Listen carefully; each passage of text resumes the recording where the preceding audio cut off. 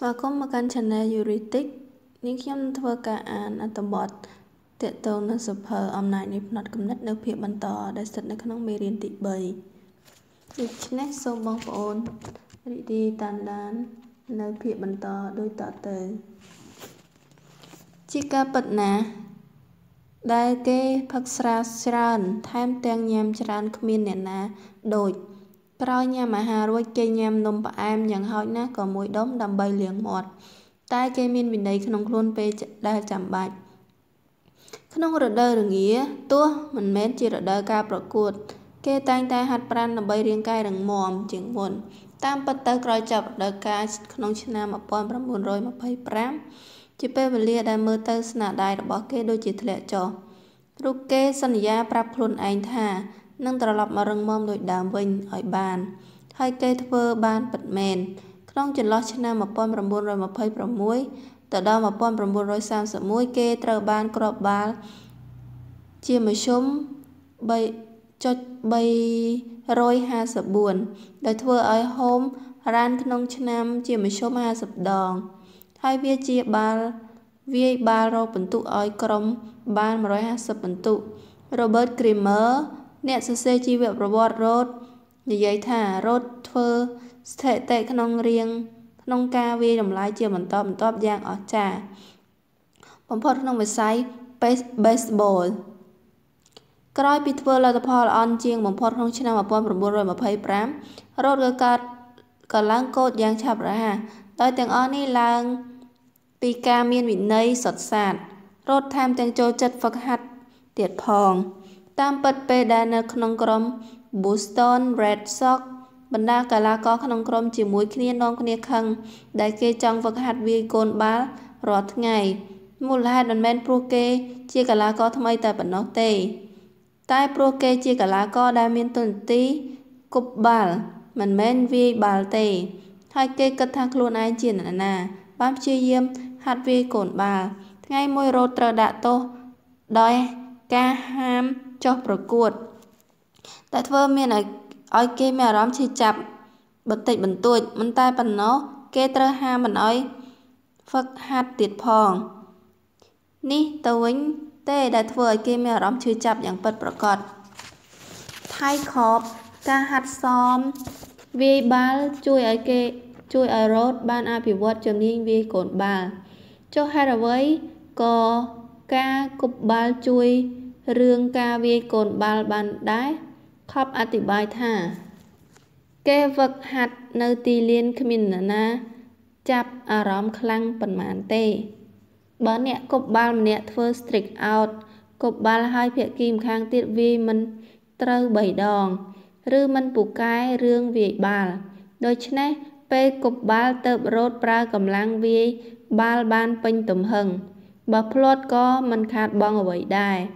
ពេលវេលាកន្លងផុតទៅ គេចាប់ផ្ដើមរៀនដឹងច្រើនជាងមុន ថានឹងមានគ្រប់គ្រងការវាយបាល់បានយ៉ាងម៉េចពេលដល់វេលាដែលគេចុះលេងក្នុងតំណែងអ្នកទទួលបាល់ក្រៅទីលាន គេក៏ត្រៀមកន្លែងរួចជាការស្រេចយ៉ាងណាក្តីនៅប្រកាន់ខ្ជាប់ជាមួយនឹងរឿងដែល Steve Jade Goal ហៅថាទស្សនៈទូទៅដែលកីឡាករ baseball ត្រូវតែមានរាងកាយរឹងមាំ មាំទាំថែមទាំងមានទេពកោសល្យពីកំណើតនិងមិនបាច់ប្រើការព្យាយាមអ្វីមនុស្សស្រីដែលរត់លឿនបំផុតក្នុងលោកហើយចុះ Wilma Dove នាងបានទទួលស្គាល់ថា ក្នុងមនុស្សស្រីរត់លឿនបំផុតក្នុងលោកក្រោយពីយកបានមេដាយមាសរត់ចង្ងាយខ្លីនិងវិញ្ញាសារត់បណ្ដាក់ក្នុងការប្រកួតកីឡាអូឡ িম্প ិកឆ្នាំ1960នៅទីក្រុងរ៉ូម ពេលដែលក្មេងសារភាពរាងកាយរបស់នាងមិនសូវជាល្អប៉ុន្មានទេ នាងជាក្មេងដែលកើតមុនកំណត់ ជាកូនទី20ក្នុងចំណោមបងប្អូន22នាក់ក្នុងឧស្សាហ៍ជឿជាងគេពេលអាយុ4ឆ្នាំនាងស្ទើរតែបាត់បង់ជីវិតដោយសារជំងឺធ្វើឲ្យនាងឈឺចាប់ពេលយូរថែមទាំងរលាកសួតទាំងសងខាង និងជំងឺស្វិតដៃស្វិតជើង ដែលធ្វើឲ្យជើងខាងឆ្វេងរបស់នាងស្ទើរតែពិការ គ្រូពេទ្យមិនសង្ឃឹមថានឹងមានជើងនោះរបស់នាងត្រឡប់មកប្រើការម្ដងទៀតតែរ៉ូបព្យាយាមធ្វើការព្យាបាលដោយចលនា8ឆ្នាំរហូតអាអាយុ12ឆ្នាំនាងដកឧបករណ៍ត្រកងជើងចេញហើយចាប់ផ្ដើមដើរបានធម្មតាបើនេះមិនមែនជាឧទាហរណ៍ដែលបង្ហាញឲ្យឃើញថាជំនាញផ្នែករាងកាយអាចអភិវឌ្ឍបានតើមានឧទាហរណ៍ណាដែលជួដែលល្អជាងនេះទៀតទៅយ៉ាងណាក្តី Rolf បាននាំយកបទពិសោធន៍នឹងការព្យាបាលដោយចលនាប្រើជាមួយនឹងកីឡាបាល់នោះបោះនឹងការរត់ទោះបីជាសាញ់គ្រប់កម្មវិធីពេលប្រកួតរត់ជាផ្លូវលើកដំបូងក៏ដោយក្រោយពីបានក្លាយជាកីឡាករនីរត់ចម្ងាយដែលរត់លឿនបំផុតក្នុងលោក រត់ក៏ប្រាប់ថានាងគ្រាន់តែចង់ឲ្យមនុស្សម្នាក់ចាំនាងក្នុងឋានៈមនុស្សស្រីដែលព្យាយាមបំផុតចុះជេគីចនឺតខេស៊ី បានទទួលស្គាល់ថាកីឡាករនីដ៏អស្ចារ្យបំផុតក្នុងឆ្នាំ1985រហូតដល់ឆ្នាំ1996នាងបានឈ្នះការប្រកួតអត្តពលកម្មគ្រូវិញ្ញាសាដែលចូលប្រកួតនិយាយអញ្ចឹងតើអត្តពលកម្មគឺជាអ្វីវាជាការប្រកួត7ប្រភេទដែលពិបាកនឹងប្រើពេលអស់2ថ្ងៃដែលរួមមានការប្រកួតលោតផ្លោះរបា100ម៉ែត្រលោតកម្ពស់ គប់លំពែងរត់ចម្ងាយ200ម៉ែត្រលោតចម្ងាយបោះដុំដែកនិងរត់800ម៉ែត្រ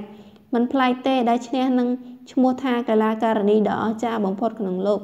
John Kersey ធ្វើពិន្ទុបានខ្ពស់បំផុតក្នុងប្រវត្តិសាស្ត្រកីឡាទាំង6វិញ្ញាសាបំបែកឯកតកម្មពិភពលោកនិងឈ្នះការប្រកួតលំដាប់ពិភពលោកដល់ទៅ2ដង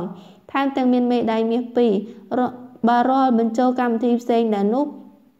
សរុបទាំងអស់6មេដាយ តើ John Kersey ពូកែពីកំណើតដែរទេ នាងមានទេពកោសល្យពិតមែនតែចាប់ផ្ដើមពីគោលអត្តពលកៈថ្មីនោះនាងចូលទៅដល់ទីក្រោយគេរហូត កាន់តែហ្វឹកយូរនាងកាន់តែរត់លឿនខ្លាំងឡើងតែមិនដែលទទួលជ័យជំនះទេ ទីបំផុតនាងធ្វើបានអ្វីម្យ៉ាងផ្លាស់ប្ដូរមែនទេ អ្នកខ្លះបានយល់ឃើញថា ការផ្លាស់ប្ដូររបស់នាងខ្ញុំកើតពីដំណរពូជតែនាងខ្ញុំគិតថាវាជារង្វាន់សម្រាប់រៀងរាល់ម៉ោងដែលចំណាយទៅលើការបើកហាត់ រត់លើផ្លូវដែលសេះរត់ផ្លូវនៅម្ដុំផ្ទះនិងផ្លូវដើរទៅក្នុងអាគារនាងចំចែករំលែកអាចកំបាំងនៃភាពជោគជ័យជាបន្តបន្ទាប់ឲ្យដល់អ្នកស្ដាប់ថានៅពេលឃើញខ្លួនឯងអភិវឌ្ឍជាងមុននាងខ្ញុំក៏មានអារម្មណ៍រីករាយនិងមានកម្លាំងចិត្តនាងខ្ញុំមានអារម្មណ៍បែបនេះក្រោយពីបានមេដាយមាសអូឡ িম্প ិក6មេដាយនៅបំបែឯកតកម្មពិភពលោកបាន5វិញ្ញាសាតាមពិតទៅពេលចាប់ដើមចូលប្រកួតថ្មីថ្មី ការនៅរៀនវិទ្យាល័យនាងខ្ញុំមានអារម្មណ៍បែបនេះដូចគ្នានាងយកមេដាយមាសចុងក្រោយពីការប្រកួតលំដាប់ពិភពលោកអូឡ িম্প ិកក្នុងកំឡុងពេលដែលជំងឺហឺតរើឡើងនិងឈឺចាប់ត្រង់បរិវេណសរសៃកំភួនជើងយ៉ាងធ្ងន់ធ្ងរនេះបានបង្ហាញឃើញថា ភាពជោគជ័យរបស់ Janet Kersey មិនបានកើតចេញពីទេពកោសល្យដែលនាងមានពីកំណើតទេ តែវាកើតចេញពីផ្នត់គំនិតមនុស្សដែលពូកែពីកំណើតមិនចាំបាច់ត្រូវព្យាយាម ដឹងដែរទេថាពេលមានពេលមួយមនុស្សម្នាធ្លាប់ជឿស្លងថាយើងមិនបាច់វឹកហាត់រាងកាយដើម្បីលេងវាយកងគោលបាន ហើយការបង្កើតនៅកម្មសមត្ថភាពរាងកាយនឹងធ្វើឲ្យយើងមានថ្វីដៃធ្លាក់ចុះតែ Tiger Woods បានឈានជើយកព្រមជាមួយនឹងតារាងពេលវេលា ការហាត់ប្រាណនិងការហ្វឹកហាត់យ៉ាងខ្ជាប់ខ្ជួនរហូតคล้ายជាទម្លាប់ បន្ទាប់មកជាជ័យជំនះក្នុងការប្រកួតកម្មវិធីមនុស្សក្រុមខ្លះមិនយល់ស្របពេលដែលណាម្នាក់ព្យាយាមហ្វឹកហាត់ដើម្បីដុសខាត់សមត្ថភាពរបស់ខ្លួនឯងឲ្យខ្ពស់ជាងទេពកោសលដែលមានជាប់ពីកំណើតនឹងខ្ញុំមនុស្សទាំងនេះប្រកាសជាមិនចូលចិត្ត Moriver ទេគេគឺជាកីឡាករបេសបលក្នុងកំឡុងទសវត្សរ៍1950-1960គេស្រមើស្រមៃចង់ចូលលេងក្នុង Major League បញ្ហានៅត្រង់ថាគេវាយបាល់មិនទាន់បានល្អ ដូច្នេះនៅពេលសញ្ញេកិច្ចសន្យាជាមួយក្រុម Docker ទៅគេត្រូវបញ្ជូនលេងទៅក្នុង Manor Lakers តែទោះជាយ៉ាងណា គេក៏ប្រាប់ប្រិមិត្តយ៉ាងជឿជាក់ថា ក្នុងរយៈពេល2ឆ្នាំខ្ញុំនឹងទៅលេងក្នុង Major League ឲ្យបាន តែ World ព្យាករខុសទោះមិនកំណត់សុតិធនិយមនឹងវត្តហាត់រាល់ថ្ងៃក៏គេនៅជាមួយ Manor League ដល់ទៅ8ឆ្នាំកន្លះពេលលេងបាន7ឆ្នាំកន្លះ អ្នកចាត់ការក្រុមបានប្រាប់គេថាលោកជាប់នៅទីនេះ7ឆ្នាំកន្លះហើយប្រហែលជាគ្មានសង្ឃឹមទៀតទេក្រោយមកមិនយូរប៉ុន្មានកីឡាករម្នាក់ឈ្មោះ Docker ក្នុង Major League របួសត្រង់ម្រាមជើងទៅវិលហៅទៅលេងជំនួសឱកាសរបស់គេបានមកដល់ហើយវិលដឹងថាជំនាញការវាយបាល់របស់គេនៅមិនទាន់ល្អតែគេមិនដែលចោះចាញ់ឡើយហើយក៏សម្រេចចិត្តទៅសុំជំនួយពីគ្រូបង្វឹកកម្រិត1ពួកគេវឹកហាត់ជាមួយគ្នា មួយថ្ងៃច្រើនម៉ោង តែមិនទាន់គ្រប់គ្រាន់លើកនេះសូម្បីតែមនុស្សដែលព្យាយាមខ្លាំងដូចជាវើក៏ចាប់ដើមបាក់ទឹកចិត្តដែរតែគ្រូបង្វឹកកម្រិតណាមួយមិនព្រមពេលដែលរៀនយុទ្ធសាស្ត្រគ្រប់យ៉ាងអ្វីដែលវើត្រូវធ្វើគ្រប់គ្រាន់ផ្លាស់ប្ដូរផ្នត់គំនិតខ្លួនឯងហើយវើក៏ចាប់ដើមវាយបាល់បាន គេសិក្សាលក្ខណៈគេគប់បាល់និងទទួលបានបាល់របស់ភាគីម្ខាងទៀតដើម្បីរកកលឹះខ្វះខាត គេអភិវឌ្ឍរត់យ៉ាងលឿន និងមានធម៌ពលហើយរួមទាំងរំអើខ្លួនយ៉ាងប្រសិទ្ធភាព គេចាប់ដើមធ្វើឲ្យកុបបាល់មានអារម្មណ៍នឹងណូនឹងធ្វើឲ្យទទួលបានច្របូកច្របល់នឹងធ្វើឲ្យគាំទ្រភ្ញាក់ផ្អើលទីបំផុតវើក៏បំបែកឯកតកម្មវាយបាល់ថៃខប់ធ្លាប់បានធ្វើនឹងគ្មានអ្នកណាគេអាចធ្វើដល់ទៅ47ឆ្នាំក្នុងរដូវកាលនោះវើទទួលបានជ្រើសរើសធ្វើជាកីឡាករធម្មពលបំផុតក្នុង Major League IQ ផ្នែកកីឡាសាកថាក្រោយពីអានរឿងរ៉ាវរបស់មនុស្សទាំងអស់នេះក្នុងវិស័យកីឡាអ្នកប្រហែលជាឃើញទំនាក់ទំនងរវាងវឹកហាត់និងអភិវឌ្ឍឬផ្នត់កំណត់ផលិតផលការងារដែលផ្ដោតទៅលើគុណសម្បត្តិផ្នែករាងកាយដែលជាប់ខ្លួនពីកំណើតតែមើលទៅដូចជាបដិសេធក្នុងរឿងនេះមនុស្សយើងផ្ដោតសំខាន់ទៅលើរឿងទេពកោសល្យច្រើនជាការអភិវឌ្ឍទោះជាក្នុងសង្គមយើងនិយាយដល់ការព្យាយាមរបស់ម្នាក់ម្នាក់និងការអភិវឌ្ឍរបស់ខ្លួនឯងញឹកញាប់តែ Clevet ចំទាស់ថាតាមពិតទៅយើងនៅលើកដំកើងអ្នកដែលពូកែពីកំណើតជំនួសឲ្យការគិតថាមនុស្សទាំងនោះគ្រាន់តែជាមនុស្សធម្មតាដូចយើងដែរតែប្រើខុសគ្នាដើម្បីឲ្យខ្លួនឯងមើលទៅដូចជាពិសេសជាងអ្នកដទៃទោះបណ្ដាអ្នកជំនាញចាប់ដើមយល់ច្បាស់ពីទូនាទីសំខាន់របស់ផ្នែកគំនិតក៏ពួកគេនៅក្រៅនានាថាភាពជោគជ័យសុទ្ធតែកើតឡើងចេញពីទេពកោសល្យដែលមានពីកំណើតអត្ថបទតកតងនឹង Malefok កម្ពុជាកីឡាករដែលលេងក្នុងតំណែង running back របស់ក្រុម ST Louis Ram ត្រូវចិត្តនាងខ្ញុំយ៉ាងខ្លាំង Fox គឺជាកីឡាករដំបូងបង្អស់ដែលរត់យកបាល់និងទទួលបាល់ក្នុងរយៈចម្ងាយសរុបជិត2000ម៉ែត្រជាប់ជាប់គ្នា4រដូវកាលអត្ថបទខាងលើសរសើរឡើងមួយថ្ងៃមុនការប្រកួត Super Bowl ឆ្នាំ2002ដោយនិយាយពីជំនាញដ៏អស្ចារ្យរបស់ Fox មើលទៅដូចជា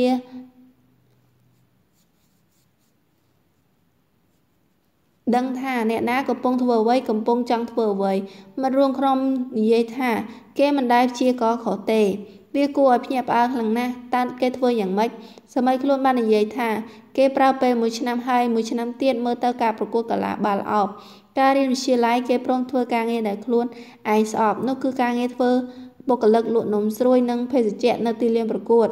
ដើម្បីនឹងមើលទម្រង់លេងរបស់កីឡាអាជីពខណៈនោះគេបង្កើត សំណួរជាច្រើនដែលបានចាប់ដើមដោយពាក្យថាហេតុអ្វីដូចជាហេតុអ្វីមិនសម្រុកបែបនេះហេតុអ្វីក៏បុកបែបនោះហេតុអ្វីបានជាធ្វើបែបនេះហេតុអ្វីបានជាធ្វើបែបនោះហ្វុកប្រាប់ថាជាទូទៅសំណួរដែលធ្វើឲ្យខ្ញុំយល់ពីកីឡាបាល់អោបច្បាស់ជាងមុនឆ្ងាយទោះខ្លាចជាអ្នកជំនាញហើយក៏គេមិនដែលឈប់សួរខ្លួនឯងថាហេតុអ្វីហើយគេក៏នៅតែវិភាគទម្រង់លេងបាល់របស់កីឡា3យ៉ាងស៊ីជម្រៅតើក្រុមគ្រូបង្វឹកនិងកីឡាករដទៃទៀតគិតយ៉ាងណា ចំពោះភាពជោគជ័យរបស់គេចម្លើយគឺពួកគេយល់ថា វាជាទេពកោសលមករួមក្រុមម្នាក់ប្រាប់ថា Fox គឺជាកីឡាដែលមាន IQ ខ្ពស់ចំណែកឯអ្នកដតីទៀតនិយាយដល់សមត្ថភាពរបស់គេក្នុងការសង្កេតទម្រង់លេខភាគីម្ខាងទៀតបានយ៉ាងត្រឹមត្រូវថាជាទេពកោសលរបស់អ្នកចេះដឹងចំណែកគ្រូបង្វឹកម្នាក់មានអារម្មណ៍ពេញចិត្តនឹងចំពោះភាពជំភពជំនាញផ្សេងៗរបស់ Fox យ៉ាងខ្លាំង និងអធិប្បាយថាការធ្វើរឿងទាំងនេះបានត្រូវពឹងលើសមត្ថភាពឆ្លាតផ្នែកកីឡាបាល់អោបតាំងពីកំណើតលក្ខណៈពិសេសផ្ទាល់ខ្លួនតើมันមានកីឡាណាកណា ដែលមានភាពពូកែនិងទេពកោសល្យពីកំណើតមែនទេ មានតែពេលខ្លះដូចជាបណ្ដាសាដោយដែលបង្ហាញឧបករណ៍របស់ Burley Bean និង George McEnroe ពេលមនុស្សទាំងនេះមានទទួលការសរសើរពីទេពកោសល្យនិងយល់ច្បាស់ថាពួកគេស្ទើរតែមិនចាំបាច់ហ្វឹកហាត់និងដុសខាត់សមត្ថភាពខ្លួនឯង ពួកគេរមែងធ្លាក់ទៅដល់ផ្នត់គំនិតថេបានយ៉ាងងាយផ្ទុយទៅវិញ Progeners អតពលពលអតពលិកដែលយកមេដាយអូឡ িম্প ិកនៅឆ្នាំ1976ប្រាប់ថាបើខ្ញុំមិនខ្វះរឿងអាន ការអានពេលខ្លះខ្ញុំប្រហែលជាមិនឈ្នះការប្រកួត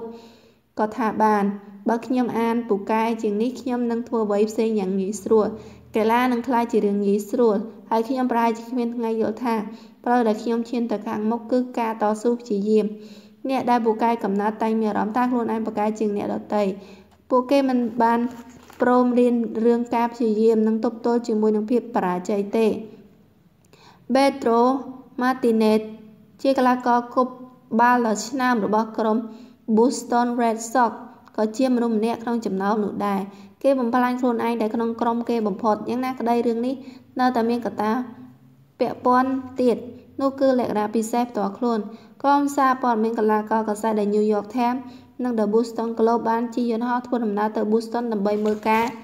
ប្រកួតប្រជុំទី3ក្នុងវគ្គជម្រុះក្នុងការប្រកួត American Lakers ក្នុងឆ្នាំ2003រវាងរវាងក្រុម New York Yankees និងក្រុម Boston Red Sox ពួកគេនិយាយរឿងលក្ខណៈពិសេស ផ្ទាល់ខ្លួនក៏យល់ឃើញដូចគ្នាថាទោះអ្នកកាសែតមក The Boston Globe មិនសូវយល់ស្របក៏ដោយថាកីឡាករ New York Yankees មានលក្ខណៈពិសេសយ៉ាង អ្នកកាសែតទាំងនេះចងចាំអ្វីដែលកីឡាករ New York ផ្ដល់ឲ្យតឡាការក្នុងឆ្នាំ2001ប្រជាជនទីក្រុងញូវយ៉កទៅតែឆ្លងផុតហេតុការណ៍11កញ្ញាថ្មីថ្មីហើយនឹងខ្ញុំផ្ទាល់នៅទីនោះដែរ ពួកយើងសុទ្ធតែមានអារម្មណ៍មិនល្អហើយចង់ព័ត៌មានល្អសប្បាយចិត្តខ្លះមនុស្សទូទាំងទីក្រុងញូវយ៉កឲ្យញូវយ៉កយូគីប្រកួតអស់ពីសមត្ថភាពដើម្បីលើកពាន World Series ឲ្យបាន តែកីឡាករក្នុងក្រុមទៅតែប្រឈមមុខជាមួយនឹងហេតុការណ៍11កញ្ញាដូចគ្នា ពួកគេរបួសនឿយហត់នឹងមើលទៅដូចជាលែងសល់អ្វីទៀតហើយទាំងខ្ញុំមិនដឹងថាកីឡាករទាំងនេះ យកទៅកម្លាំងពីណាទេពួកគេព្យាយាមអស់ពីសមត្ថភាពដោយការយកឈ្នះក្រុមផ្សេងផ្សេងបានរាល់លើកពួកគេយកជ័យជំនះជួយឲ្យពួកគេត្រឡប់មកកម្លាំងចិត្តជាងមុនបន្តិចនឹងធ្វើឲ្យយើងមានសង្ឃឹមតាក់ទងនឹងអនាគតច្រើនជាងមុនផងដែរពួកគេប្រើក្តីសង្ឃឹមរបស់យើងជំរុញចិត្តនិងលើកពាន American Lakers S បានសម្រេចបន្ទាប់មកក៏លើកពាន American Lakers ហើយក៏ចូលទៅក្នុងក្រុមប្រកួត World Series ពួកគេតស៊ូអស់ពីសមត្ថភាពរហូតនឹងទទួលបានជោគជ័យ មុននេះគ្រប់គ្នាស្អប់ New York Yankees នោះទូទាំងប្រទេសសុទ្ធតែចង់ឲ្យក្រុមនេះចាញ់នាងខ្ញុំផ្ទាល់ធំធាត់ឡើងព្រមជាមួយនឹងអារម្មណ៍បែបនោះដូចគ្នាតែក្រោយហេតុការណ៍នេះនាងខ្ញុំលងស្រឡាញ់ពួកគេនេះជាអត្ថន័យពាក្យថាលក្ខណៈពិសេសផ្ទាល់ខ្លួនហើយអ្នកបណ្ដាសារព័ត៌មាននិយាយដល់អ្នកសារព័ត៌មានទាំងនោះប្រាប់ថា លក្ខណៈពិសេសផ្ទាល់ខ្លួនគឺជាអ្វីដែលពួកគេនឹងដឹងភ្លាមពេលដែលឃើញវា វាជាសមត្ថភាពក្នុងការចាក់ឫសយ៉ាងជ្រៅនៅក្នុងចិត្តគំនិតដើម្បីស្វែងរកកម្លាំងជំរុញនិងបើទោះបីជាយ៉ាងណាមើលមិនណយផលក៏ដោយត្រឡប់ទៅរឿងរ៉ាវ Bepro Martinez ក្នុងថ្ងៃប្រកួតកីឡាដែលលេងក្នុងតំណែងទទួលបានបាល់ Boston Red Sox គេកំពុងតែបង្ហាញឲ្យឃើញពីអត្ថន័យនៃពាក្យថាលក្ខណៈពិសេសតខ្លួនដោយធ្វើរឿងដែលផ្ទុយគ្មានក្រុមណាចង់លើកពាន American Lakers ខ្លាំងដូច Boston Red Sox ទៀតទេ ពួកគេមិនបានឈ្នះប្រកួត World Series 85ឆ្នាំមកតាំងពីត្រូវបណ្ដាសា Bambino បណ្ដាសានោះកើតឡើងនៅពេលដែល Harry Fuzzy ដែលជាម្ចាស់ក្លឹបលក់ Barrett ឲ្យក្លឹប New York Yankees ដើម្បីយកលុយទៅឧបត្ថម្ភការសម្ដែង Broadway ការលក់កីឡាជំនាញឆ្វេងដែលពូកែបំផុតក្នុងវិស័យកីឡា baseball ក្នុងពេលនោះគឺជារឿងគួរឲ្យសោកស្ដាយហើយជាអាក្រក់ជាងនោះគឺការលក់កីឡាឆ្នើមនៅក្នុងក្រុមគូប្រជែងដូចជា Boston Red Sox តាំងពីពេលនោះមក New York Yankees ក៏ចាប់ផ្ដើមលេចធ្លោក្នុងវិស័យកីឡា baseball ខណៈដែល Boston Red Sox បានប្រកួតក្នុងកម្មវិធី World Series តែ4ដប់ប៉ុណ្ណោះពួកគេឆ្លងចូលវគ្គជម្រុះជាច្រើនដង តែទីបំផុតក៏ចាញ់រហូតថែមទាំងចាញ់យ៉ាងអាម៉ាស់បំផុត ទាំងដែលរកពិន្ទុនាំមុខប្រកួតទីបំផុតការប្រកួតលើកនេះក៏បានមកដល់ពួកគេក៏មានឱកាសម្ដងទៀតដើម្បីដោះបណ្ដាសានិងយកឈ្នះប្រកួតហើយយកជ័យជំនះបានពួកគេទ្រាំទឹកគុត World Series ចំណែកឯ New York Yankees ក៏ធ្លាក់ពីកំពូលយ៉ាងណាក្តីទោះបីដំបូង Martinez គប់បាល់បានល្អតែក្រោយមកគេក៏មិនបានល្អតើគេយ៉ាងណា ចម្លើយគឺគេគប់បាល់ដាក់កីឡាករ The New York Yankees Karim Garcia គឺនឹងគម្រាមគប់ដាក់ម្នាក់ទៀត John Posada ថែមទាំងបានបោក Don Simmer គ្រូបង្វឹក72ឆ្នាំរបស់ New York Yankees ផ្ដួលទៅដីទៀតផង Jack Curry អ្នកសារព័ត៌មានមកពីក្រុមហ៊ុនកាសែត The New York Times សរសេរថាយើងដឹងថានឹងបានឃើញការប៉ះពាល់គ្នារវាង Depro Martinez និង Roger Cleanmate ក្នុងការប្រកួតពេលរសៀលនៅទីលាន Fenway Park តែគ្មាននរណាស្មានដល់ទេថាគេនឹងប៉ះទង្គិចជាមួយនឹង Garcia Posada និង Simmer ដែរសូម្បីតែអ្នកសារព័ត៌មានមកពី Boston Globe ក៏ភ្ញាក់ផ្អើលដូចគ្នា Dan Sanesi ចោទសំណួរថាអ្នកគ្រប់គ្រងរបស់ Boston Red Sox ពេលនេះតើអ្នកណាទាំងអស់គ្រប់គ្រងអ្នកណារវាង Roger Clemens ដែលលះអារម្មណ៍បានល្អនឹងធ្វើខ្លួនដូចអ្នកជំនាញក្នុងការប្រកួតការពីយប់ថ្ងៃសៅរ៍ព្រមទាំងយកជ័យជំនះឲ្យក្រុមបាននឹង Depo Martinez ក្មេងតូចដែលធ្វើបាបអ្នកដទៃក្រោយចាញ់ការប្រកួតមុននឹងចង្អុលក្បាលខ្លួនឯងហើយចង្អុលទៅចោច Posada កីឡាករទទួលបានបាល់របស់ក្រុម New York Yankees គម្រាមដោយគម្រាមថាឯងជាអ្នកបន្ទាប់អ្នកគ្រប់គ្រងរបស់ Boston Red Sox ប្រហែលជាមិនចង់ឮបែបនេះទេ តែ Martinez ជាតំណាងឲ្យភាពអាម៉ាស់នៃយប់ថ្ងៃសៅរ៍និងភាពអាម៉ាស់នៃវិស័យកីឡា baseball គេយកខ្លួនរួចខ្លួន បានព្រោះគេ Pedro Martinez គណៈកម្មការទីគ្រប់គ្រងក្លឹបយកព្រមអធិស្ឋានឲ្យគេ តែនឹងមានអ្វីម្ដងទៀតដែរ Martinez ទទួលស្គាល់ថាខ្លួនឯងខុស Martinez មិនដឹងពីវិធីរងាប់ទោសទេ ហើយក៏មិនដឹងពីវិធីផ្លាស់ប្ដូរភាពបរាជ័យ ឲ្យខ្លាយជាជ័យជំនះអស្ចារ្យដែរ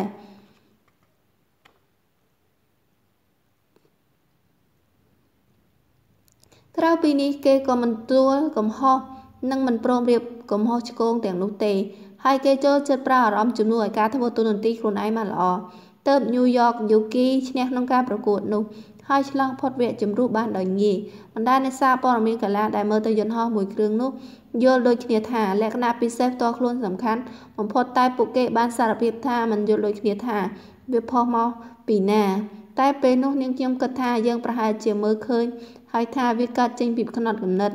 ពេលនេះយើងដឹងហើយថាមានផ្នត់គំនិតមួយដែលធ្វើឲ្យមនុស្សយើងប្រកាន់ខ្ជាប់ជាមួយនឹងគោលគំនិតថាខ្លួនឯងមានទេពកោសល្យនិងជាមនុស្សពិសេសនៅពេលរឿងផ្សេងផ្សេងកំហុសឆ្គងកើតឡើងពួកគេនឹងបាត់បង់សមាធិនិងសមត្ថភាពរហូតធ្វើឲ្យគ្រប់យ៉ាងខ្លួនឯងត្រូវ ក្នុងករណីនេះគឺគ្រប់យ៉ាងក្នុងក្រុមនឹងគ្រប់គ្រងត្រូវការធ្លាក់ក្នុងសភាពគ្រោះថ្នាក់យើងថែមទាំងដឹងទៀតថាមានផ្នត់គំនិតមួយដែលជួយឲ្យមនុស្សយើងទប់ទល់ជាមួយនឹងភាពបរាជ័យបានហើយថែមទាំងបង្ហាញឲ្យឃើញពីយុទ្ធសាស្ត្រដ៏ល្អនិងជំរុញឲ្យមនុស្សយើងធ្វើដែលមានប្រយោជន៍ចំពោះខ្លួនឯងបំផុត តែជប់សិនរឿងរ៉ាវទាំងពីរក្រុមមិនបានបញ្ចប់ត្រឹមនឹងទេ The New York Yankees Boston Red Sox ត្រូវប្រឈមមុខដាក់គ្នាទៀតក្រុមដែលឈ្នះ4ក្រុមក្នុងចំណោម7ក្រុមនឹងបានលើកពាន American Lagos នឹងទៅចូលរួមកម្មវិធី World Series ឃើញថា New York Yankees ទទួលបានជ័យជំនះ3ប្រកួតដំបូងហើយមើលទៅទីនេះដូចជាលើកដំបូងហើយដែលភាពគួរឲ្យអាម៉ាស់កើតមានឡើងក្នុងក្រុម Boston Red Sox តែក្នុងឆ្នាំ Boston Red Sox បានដាស់តឿនកីឡាសំខាន់ក្រុម ពួកគេលក់កីឡាករម្នាក់ហើយព្យាយាមលក់ម្នាក់ទៀតតែគ្មានក្រុមគ្មានក្រុមណាត្រូវការពួកគេផ្ញើអ្នកដតីឲ្យដឹងថានេះជាក្រុមមិនមែនកន្លែងប្រមូលផ្ដុំអ្នកមានទេពកោសល្យនោះទេ ហើយយើងប្រឹងហាត់ដើម្បីក្រុមរបស់យើង4ប្រកួតក្រោយ Boston Red Sox ទទួលបានជ័យជំនះពួកគេ បានពាន American Lagos មុនបន្ទាប់មកពានរង្វាន់ World Series មួយទៀត ចាប់ពីឆ្នាំ1904នេះជាលើកទី1ដែលពួកគេយកក្រុង New York Yankees ទៅបាននៅក្នុងប្រកួត Championship Series ស្វែងយល់បន្ថែមពីលក្ខណៈពិសេសខ្លួនបន្តិចទៀតយើងងាកមកចាប់ដើមរឿងរបស់ Pete Sampras និងផ្នត់គំនិតអភិវឌ្ឍល្អជាង ក្នុងឆ្នាំ2000 Sampras បានចូលប្រកួត Tennis Wimbledon ដែលជាការព្យាយាមដើម្បីលើកពាន Grand Slam លើកទី13របស់គេ បើឈ្នះគេនឹងបំបែកឯកតកម្ម Roy Emerson ដែលឈ្នះការប្រកួតធំ12ដងទោះ Sam Brush ឆ្លងចូលវគ្គចុងក្រោយបាន តែបែរជាលេងមិនសូវបានល្អប៉ុន្មាននិងមិនជឿជាក់នឹងយកឈ្នះកីឡាករឆ្នើមដូចជា Patrick Father បានទេ Sam Brush ចាញ់ក្នុងសិចទី1 ហើយវិសនឹងចាញ់ក្នុងសិចទី2គេតាមក្រោយពិន្ទុ4ទល់នឹង1ក្នុងហ្គេម Tick Breaker សំបីតែខ្លួនគេផ្ទាល់ក៏ប្រាប់ថាខ្ញុំមានអារម្មណ៍ថាជ័យជំនះកំពុងរបូតពីដៃហើយ ចាំបានទេចត McEnroe និង Pedro Martinez ធ្វើយ៉ាងណា ពេលជិះចាញ់ហើយចុះប្រសេមតើគេធ្វើយ៉ាងណា William Roden និយាយថា Sam Braro មើលផ្នត់គំនិតដែលនឹងជួយឲ្យគេឈ្នះការប្រកួតនេះ ចំណែក Sam Bra ក៏និយាយថាខណៈអង្គុយចាំនៅក្នុងម៉ោងសម្រាកខ្ញុំគិតដល់ការប្រកួតសិចទី1ហើយត្រឡប់មកយកឈ្នះសិចជាប់គ្នាខ្ញុំយល់ថាពេលនេះយើងមានពេលខ្ញុំត្រូវរំលឹកបទពិសោធន៍ខ្ញុំពូពីឧបសគ្គបាន Roden និយាយបន្តថា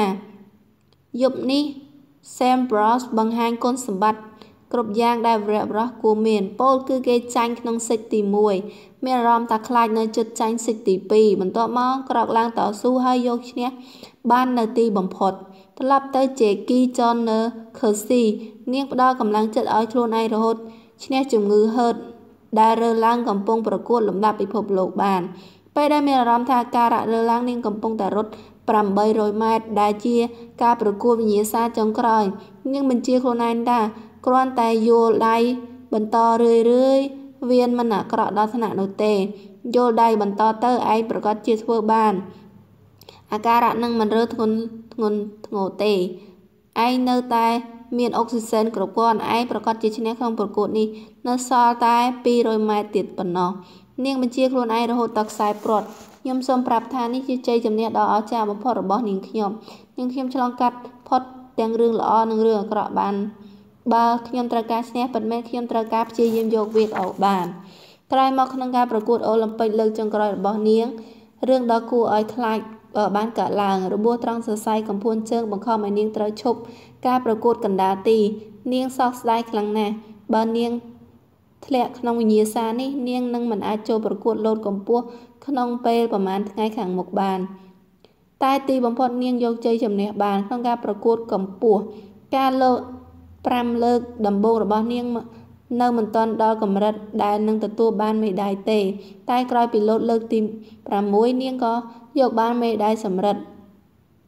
បានដោយការយកមេដាយនោះតម្លៃជាងមេដាយមាសដែលធ្លាប់ទៅទៀតកម្លាំងដែលប្រើលោតទី6 កម្លាំងជំរុញនាងផ្សាយផ្សំអស់រយៈពេលជាច្រើនឆ្នាំ នាងខ្ញុំរួបរวมឈឺចាប់ទាំងអស់ហើយបដូរជាកម្លាំងជំរុញចិត្តដ៏អស្ចារ្យ Janet Kersey ក៏បង្ហាញគុណសម្បត្តិយ៉ាងគ្រប់យ៉ាងដែលវីរៈបរោះគួរមានដូចគ្នា នាងមានអារម្មណ៍ថាខ្លាចពេលចិត្តចាញ់បន្ទាប់មកក៏ក្រោកឡើងតស៊ូហើយទីបំផុតក៏យកជ័យជំនះបានលក្ខណៈពិសេសផ្ទាល់ខ្លួនបេះដូងនឹងការតាំងចិត្ត និងចិត្តគំនិតរបស់អ្នកឈ្នះទោះបីជាឈ្មោះហៅច្រើន តែទាំងអស់នេះសុទ្ធតែជារឿងមួយជាកម្លាំងជំរុញផ្ដាក់ចាប់ផ្ដើមវឹកហាត់និងចិត្តតស៊ូព្យាយាម ចាំបានទេថា Make Enro ប្រាប់យើងថាយ៉ាងម៉េចពេលគេចាញ់ក្នុងការប្រកួតលើកមួយលើកមួយលើកគេបន្ទោសគ្រប់យ៉ាងដែលមិនដូចចិត្តដូចជាថ្ងៃក្តៅមេឃត្រជាក់ពេលគេកំពុងច្រណែនខឹងត្រូវរំខានសមាធិតែដូចដែល Badly Jenkins ប្រាប់យើងអញ្ចឹងថានេះមកសញ្ញានៃអ្នកឈ្នះគឺសមត្ថភាពក្នុងការយកជ័យជំនះដែលគ្រប់យ៉ាងមិនដូចការរំពឹងទុកឬសំដៅដល់ពេលវេលាដែលយើងលេងមិនបានល្អកំពុងមានអារម្មណ៍មិនល្អនេះជាហេតុការណ៍ដែលធ្វើឲ្យនាងរៀនពីអត្តន័យនៃភាពជាអ្នកឈ្នះ King កំពុងប្រកួតតេនីសជុំចុងក្រោយនៅទីលាន Forest Hill គូប្រកួតរបស់នាងគឺ Margaret Smith ដែលពេលនោះកំពុងតែល្បីខ្លាំង King ប្រកួតជាមួយ Smith ជាប់ 10ដងហើយ ហើយក៏ធ្លាប់ឈ្នះតែមួយលើកគត់ក្នុងសិចទី1 King លេងបានល្អណាស់ហើយបានបន្ទុនាំមុខតែ Smith បែរជាយកឈ្នះបានក្នុងសិចនេះក្នុងសិចទី2 King នាំមុខដូចដើម ហើយវិសនឹងឈ្នះក្នុងសិចនេះទៅហើយតែទីបំផុត Smith ទទួលបានជ័យជំនះប្រកួត